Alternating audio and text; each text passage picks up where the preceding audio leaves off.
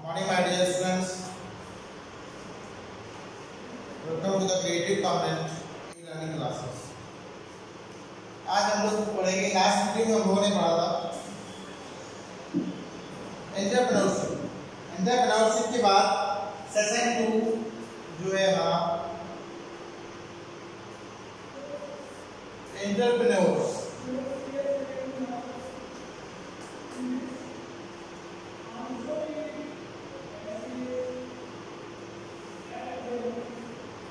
Entrepreneurs होते क्या हैं कि पहले पढ़ा था कि बिज़नेस क्या होता है अब पढ़ेंगे कि बिज़नेस मैन क्यों, कैसे होगा?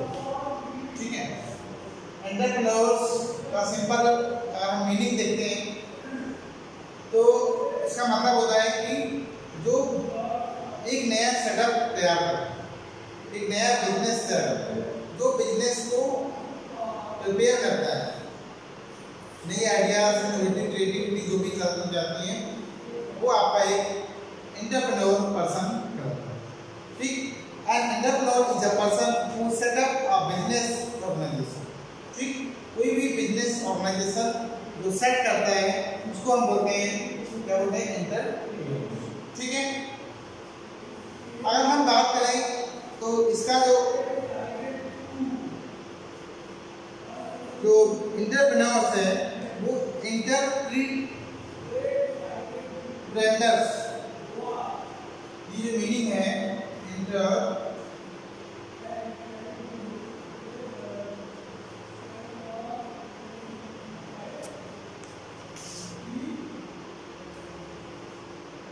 इंटरप्रेन्योर ये फ्रेंच वर्ड है. इससे ये दिया गया इंटरप्रेन्योर से दिया गया है. इंटरप्रेन्योर्स ठीक? इसका जो मीनिंग है, उसका मतलब है अंडरटेक मीनिंग इसका है अंडर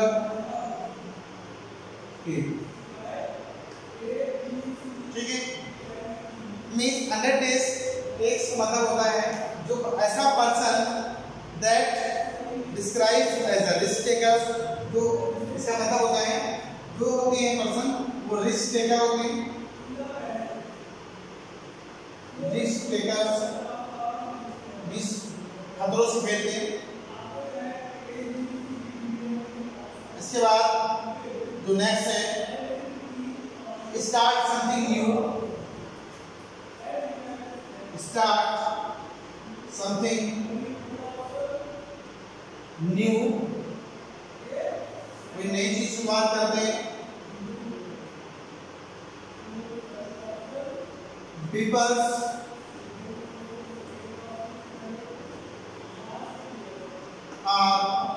इनोवेटिव ठीक है? पीपल्स होते हैं, वो इनोवेटिव होते हैं। देखिए इसका मीनिंग अगर समझना चाहेंगे। Entrepreneur person who set up a new organization ठीक है? सेटअप ऑर्गेनाइजेशन कोई ऑर्गेनाइजेशन का सेटअप करते हैं। उसके बाद, इस जो वर्ड है एंटरप्रेन्योर्स वो हमारा कहाँ से लिया गया है? फ्रेंच वर्ड है। फ्रेंच वर्ड से लिया गया है। फ्रेंच वर्ड कौन सा है वो? एंटरप्रेन्योर इसका मीनिंग जो है। वो है अंडरटेक ठीक? अंडरटेक वो पर्सन इसका मतलब होता है डिस्क्राइब क्या करता है? रिस्क टेकर्स रिस्क टेकर्स होते हैं। उसके बाद स्टार्ट समथिंग न्यू कुछ नया शुरुआत करते हैं। द पीपल आर इनोवेटिव वो इनोवेटिव होते हैं नए नए आइडियाज़ नए नए व्यूज़ अपने मार्केट में लाने के लिए सोचते रहते हैं। ठीक है? तो ये सारी चीज़ें जो करेक्टरिस्टिक्स हैं सब हमारे किसकी हैं। एक बिजनेसमैन की है इसको बोलते हैं एंटरप्रेन्योर पर्सन ठीक? एंटरप्रेन्योर पर्सन जो है, उसके पास कुछ क्वेश्चंस के आंसर्स होने चाहिए, अगर वो एंटरप्रेन्योर पर्सन है। उसकी हम चेक करेंगे कि कैसे एक एंटरप्रेन्योर पर्सन होगा? ठीक? कैसे पहचानेंगे कि एंटरप्रेन्योर पर्सन है या नहीं है? उसके लिए कुछ एप्टीट्यूड टेस्ट है एग्ज़ाम्पल है क्वेश्चंस हैं, उनके थ्रू हम समझेंगे कि एक एंटरप्रेन्योर पर्सन कैसे कैसे?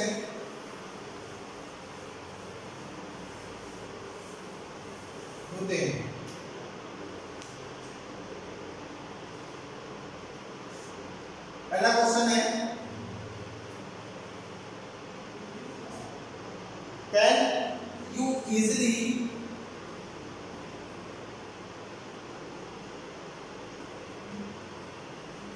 can you easily spot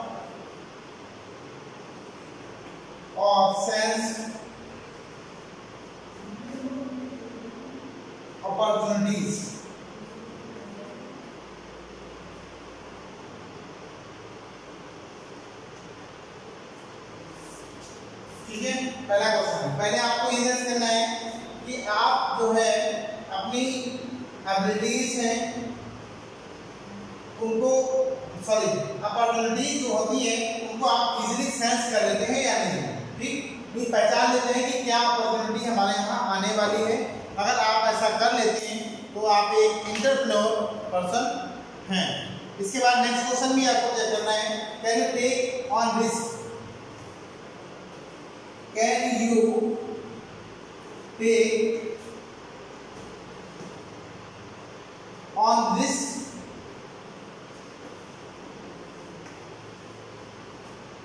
risk willingly and confidently.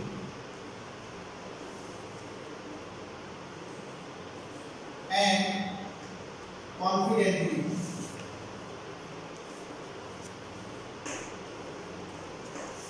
क्या आप रिस्क ले सकते हैं पूरे विश्वास, आत्मविश्वास, दृढ़ के साथ में आप अगर रिस्क लेने को तैयार हैं तो भी आप एक एंटरप्रेन्योर पर्सन होते हैं नेक्स्ट क्वेश्चन जो है can you generate new business next है can you generate new business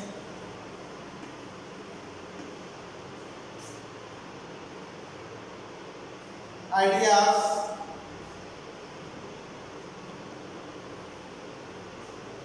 and convert them into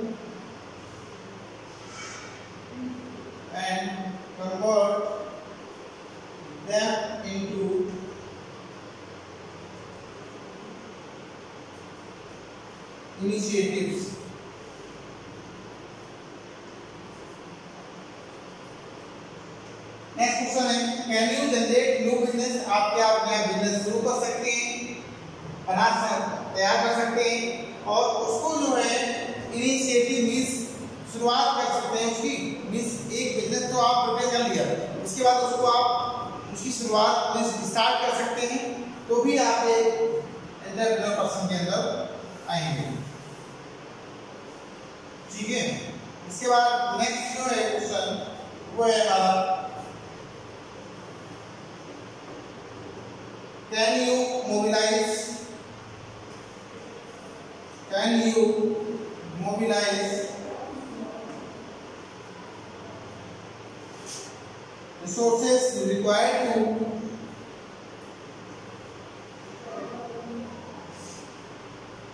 required to set up a business set up a business इसका मतलब सिंपल ये है कि आप जो बिज़नेस सेट करने जा रहे हैं, उसके लिए जो भी रिसोर्सेज थिंग्स रिक्वायर्ड होंगी, वो सारी चीज़ें आप अरेंज कर सकते हैं या नहीं। ठीक? अगर आप कर पा रहे हैं, तब भी आप इसी के अंदर आएँगे। Do you have the ability to plan next question do you have ability to plan, organize,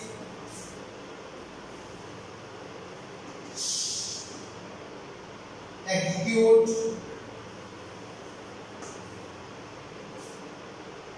and pursue a business.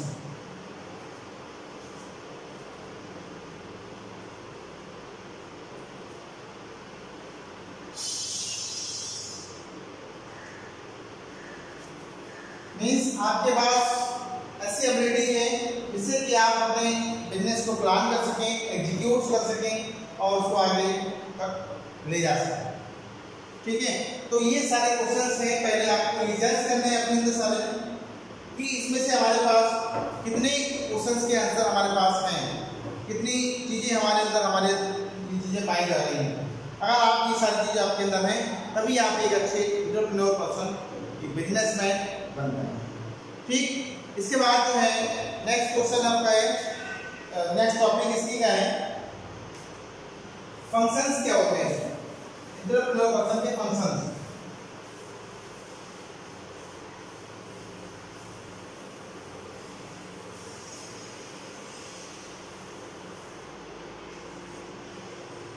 इसके फ़ंक्शन जो है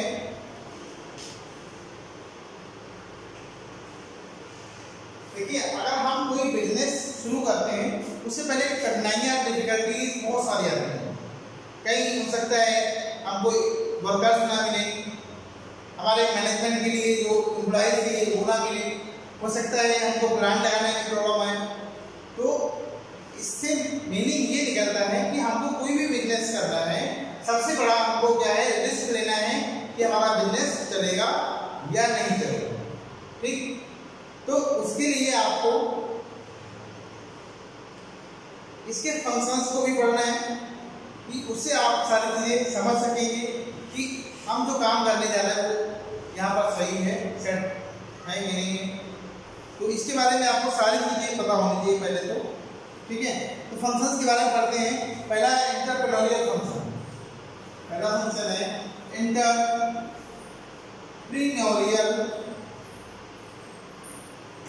function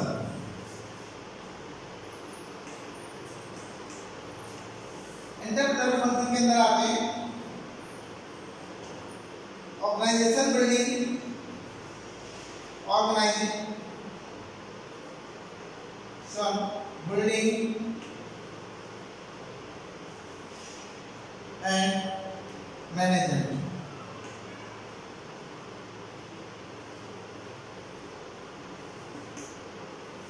Next one, risk taking.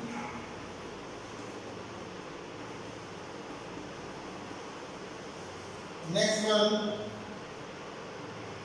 innovation.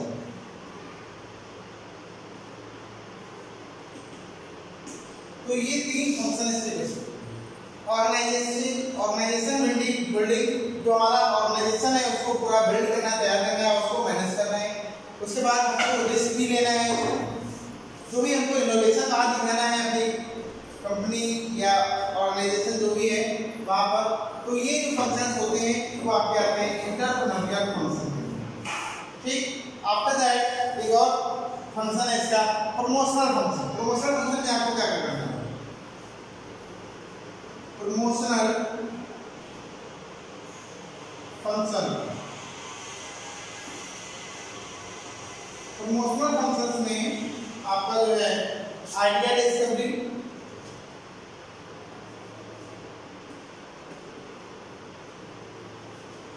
next one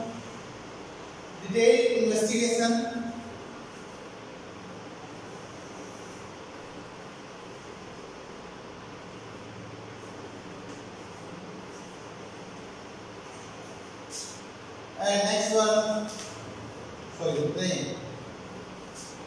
ये है प्रमोशनल फ़ंक्शन हमको अपने business को promote करना है। तो आज हम कैसे करेंगे? तो सबसे पहले आपको आइडिया डिस्कवर करना है कि हम अपने बिज़नेस को कितने अच्छे से बनाएँ। कितने इनोवेटिव बनाए इस थॉट्स आपको अपने अंदर क्रिएट करने हैं ठीक है? तो ये है आपका आइडिया डिस्कवरी मींस आपको पूरा आइडिया जो है सोचना है डिस्कवर करना है रेडी करना है कि हम यहाँ पर चला पाएँगे क्या नहीं। नेक्स्ट जो आता है डिटेल इन्वेस्टिगेशन तो सबसे पहले तो आप जो भी प्रोडक्ट या जो भी सेटअप लगाने जा रहे हैं, अपने एरिया में, उसके बारे में अच्छे से इन्वेस्टिगेशन कर लें। कि ये सेटअप क्या पर सही है या नहीं है। जो भी इससे रिगार्ड हमारी इंफॉर्मेशन है, वो हमको क्या करनी है? वहाँ पर इन्वेस्टिगेट करनी है सारी जाँच लेनी वहाँ वहाँ after that, next one function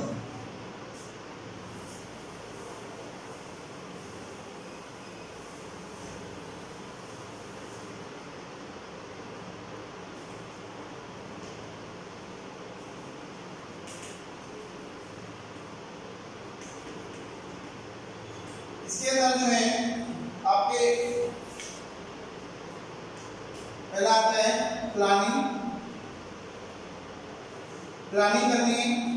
Next one is organizing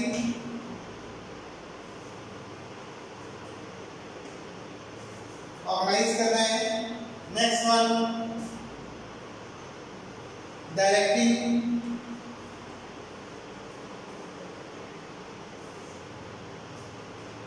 चौथा स्टाफिंग नेक्स्ट वन लीडरशिप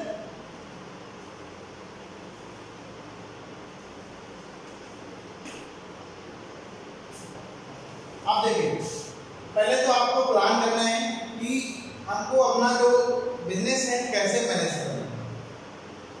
हम कोई भी काम करते हैं, सबसे पहले प्लान करते हैं कि प्लानिंग करते हैं कि ये चीज़ें हमारे कैसे कैसे वहाँ पर होंगी। कैसे कैसे हैपन होगा, ये चीज़ें हमारे पास कैसे कैसे आएँगी। कहाँ से आएगा कैसे आएगा? कैसे इम्प्लाइज वगैरह सारी चीज़ों को मैनेज करनी है प्लानिंग के अंदर फिर क्या करना है, आपको उसको ऑर्गेनाइज करना है। ऑर्गेनाइजिंग मीन्स जो भी प्लान आपने किया है, उसको आप इम्प्लीमेंट करना इम्प्लीमेंट करने के बाद क्या करना है, फिर डायरेक्ट करना तो जो भी आपने वहाँ काम कर कर रहे हैं एम्प्लॉइज वर्कर्स जो भी आपके साथ में ऑर्गेनाइजेशन में उनको डायरेक्ट करना है कैसे कैसे काम करना है। उसी साथ में आपको स्टाफिंग भी करनी है कि आपको वहाँ पर पर्टिकुलर वर्क के लिए कौन कौन लोग जो वर्क करेंगे। मीन्स आपको जो वर्कर्स चाहिए एम्प्लॉइज चाहिए, जो भी लोग चाहिए, उसके लिए आपको क्या करना है? स्टाफिंग करनी मीन्स उनको इंगेज करना है। आफ्टर दैट लीडरशिप लीडरशिप भी बहुत ज़रूरी है। आप किसी भी फ़ील्ड में जाए तो आप पर एक लीडरशिप भी होती है। हर एक फ़ील्ड, चाहे आप टीचिंग में चले जाएँ, चाहे आप किसी भी फ़ील्ड मेडिकल फ़ील्ड में चले जाएँ मिलिट्री फ़ील्ड में चले जाएँ तो भी वहाँ पर अलग अलग पोस्ट दे रखी है। और उनके अंदर वो लोग उसको हैंडल करते चले जाते हैं। ठीक है? जैसे कि स्कूल कॉलेज में देखते हैं, हमारे स्टूडेंट्स होते हैं टीचर्स होते हैं कोऑर्डिनेटर्स होते हैं और उसके ऊपर चले जाएँगे तो vice principal principal director manager etcetera ऐसे पोस्ट अलग अलग कर हैं। तो सबकी अलग अलग अपनी अपनी एक लीडरशिप वो अपने अपने लोगों को मैनेज करते चले जाते हैं। ठीक है? जैसे टीचर्स स्टूडेंट को मैनेज करते हैं। टीचर्स को कोऑर्डिनेटर्स मैनेज करते हैं। कोऑर्डिनेटर्स को जो हमारे वाइस प्रिंसिपल वो मैनेज करते हैं। वाइस प्रिंसिपल उनको जो है प्रिंसिपल प्रिंसिपल को मैनेजर इस तरह से बहुत सारे लोग अलग अलग उनको हैंडल करते चले जाते हैं। ठीक? तो ये जो बात होगी हमारी पूरी मैनेजिंग की कैसे कैसे हम अपने बिज़नेस को मैनेज करेंगे? आफ्टर दैट कमर्शियल फ़ंक्शन तो थर्ड था। चौथा जो है कमर्शियल फ़ंक्शन ये बहुत इंपॉर्टेंट है इसके बगैर कोई काम नहीं कमर्शियल फ़ंक्शंस में आपको जो करना है प्रोडक्शन एंड ऑपरेशंस प्रोडक्शन करना है। ऑपरेशन परफॉर्म करना है। Next one, finance and accounting.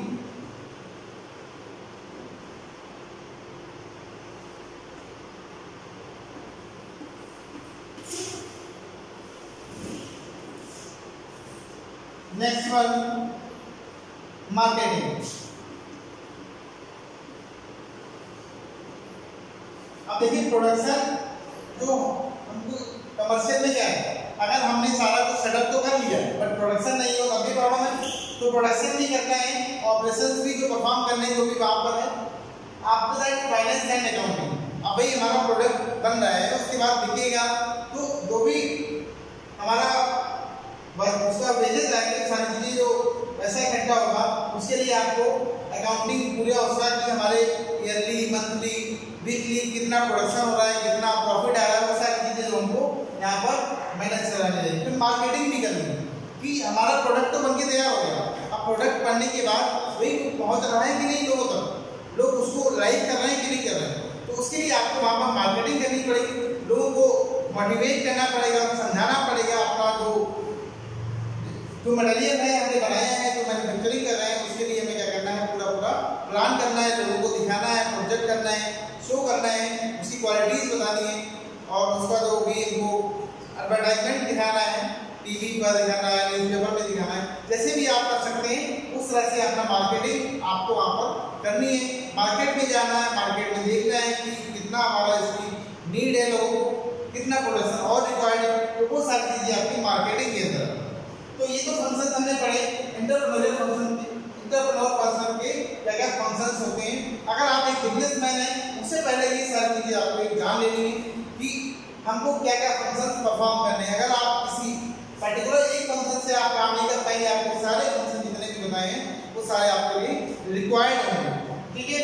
तो अगले वीडियो में हम लोग पढ़ेंगे, इसके इम्पोर्टेंस क्या है और उसके रोल्स क्या हैं टाइप्स ऑफ़ इंटरप्रेन्योर्स कितने टाइप्स के इंटरप्रेन्योर्स होते हैं।